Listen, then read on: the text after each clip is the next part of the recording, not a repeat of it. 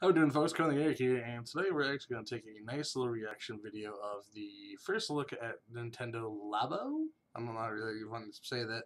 Labo. Um, we're going to take a look at it, and then I'm going to talk about it afterwards. So, here we are. Let's enjoy the Nintendo Labo, alright?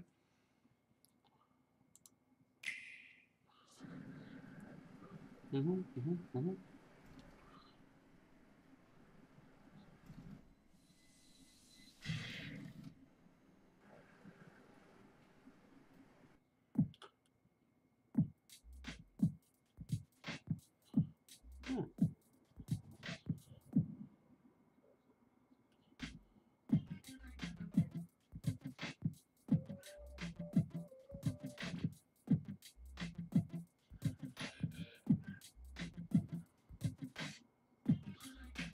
That's pretty cool.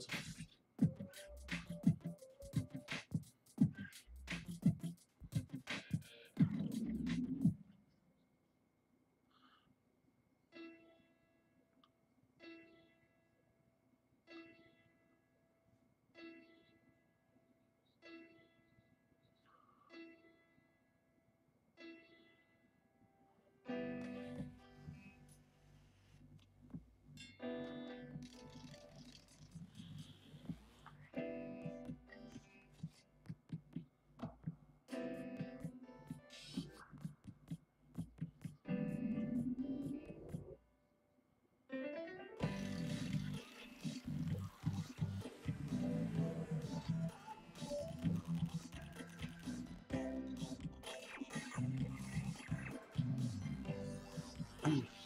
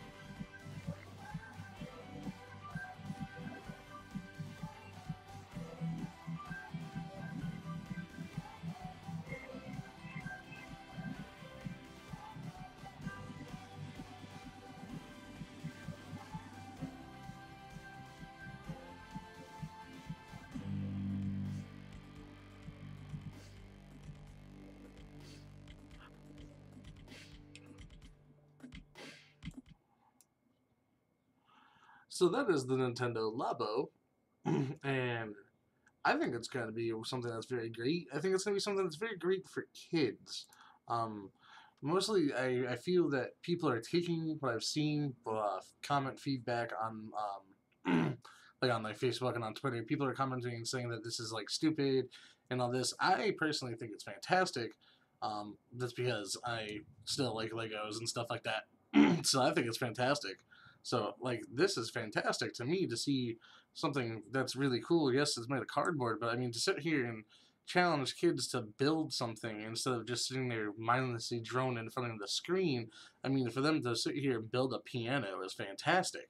I think that's so freaking cool. And then sitting there with like the drone robot, like the the big robots and everything, I that's pretty cool. And I, I think that's cool. And like to sit here and um the the the the, the motorbike and you can actually rev the motorbike. I thought that was cool. That thing was pretty cool too. I don't know what that's supposed to be.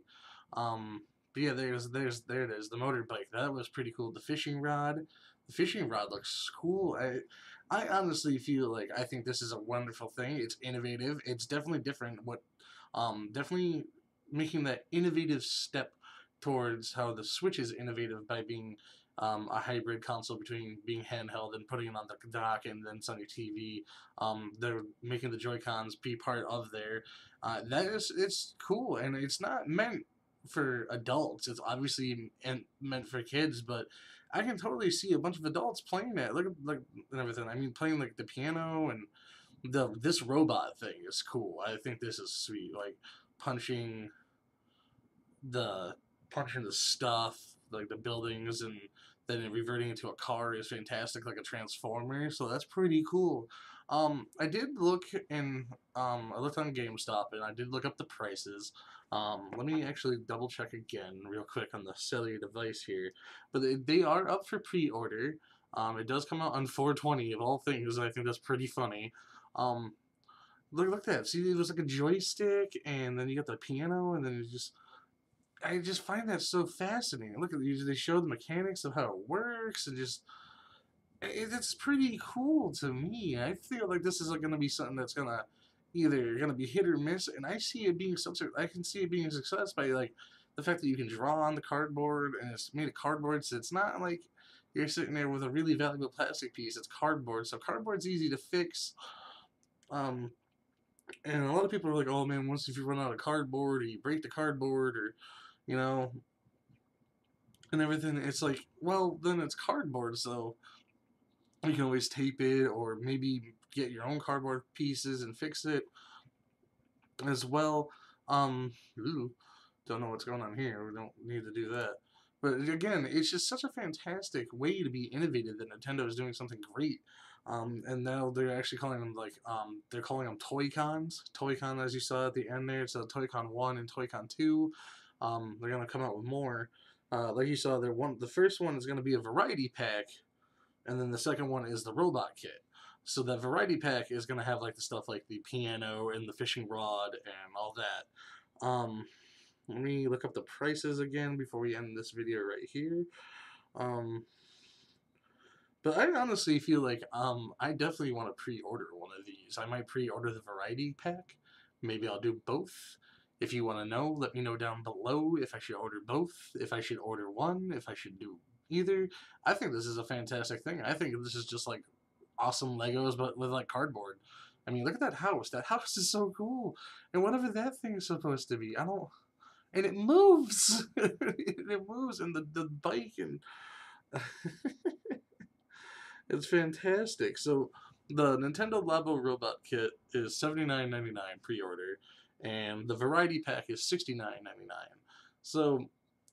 Um, depending on what you would like and everything, what you feel would be better. I mean, look at that, drum pedal. That's fantastic.